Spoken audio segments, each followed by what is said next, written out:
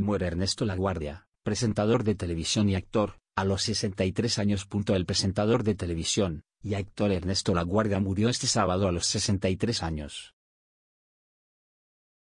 También confirmaron el fallecimiento del presentador la Asociación Nacional de Intérpretes de México.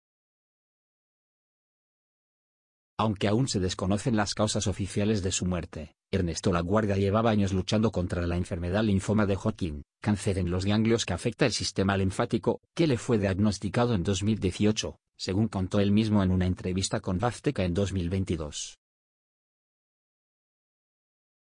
Sin dar más detalles, Patricia Rodríguez, esposa del conductor, dio a conocer la noticia durante la emisión del programa este sábado en la mañana.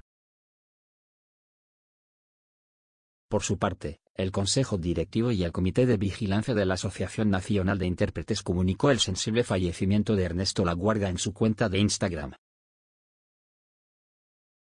Ernesto Laguardia es un actor y presentador de televisión originario de la Ciudad de México, nacido el 5 de octubre de 1959.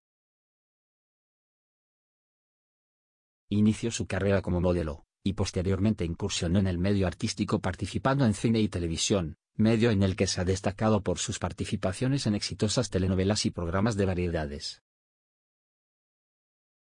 Al igual que muchos actores, Ernesto Laguardia supo que tenía un talento especial para las artes escénicas a una temprana edad.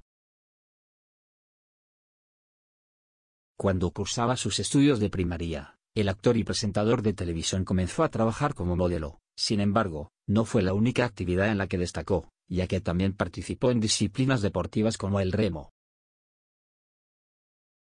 En sus inicios, tuvo una prolífica carrera como modelo, pero eso no impidió que continuara con su formación académica. Así, ingresó a la universidad para cursar la carrera en Administración de Empresas en el ITAM, una prestigiada institución universitaria mexicana. Al concluir sus estudios, recibe la oportunidad de incursionar en la estación SEU de la radio mexicana, en la que primeramente formó parte del equipo de reporteros para posteriormente ser ascendido al puesto de entrevistador, mismo que lo llevó a realizar importantes entrevistas a personajes como Miguel Bosé y Rocío Durcal, entre otros importantes intérpretes internacionales.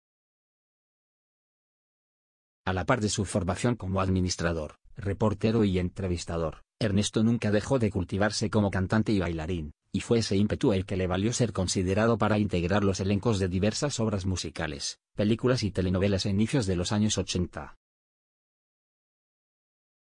Su primera telenovela fue La Fiera, una producción de 1983 en la que interpretó el personaje de Raúl, a este melodrama le siguieron Los años pasan, Pobre Juventud y Tiempo de Amar, pero no sería sino hasta 1987 que interpretaría uno de los personajes más icónicos de su carrera como actor, Pancho, el enamorado de Maricruz en la telenovela Quinceañera, mismo que le valió críticas positivas por parte del público, y lo colocó como uno de los actores jóvenes a seguir en la década de 1980.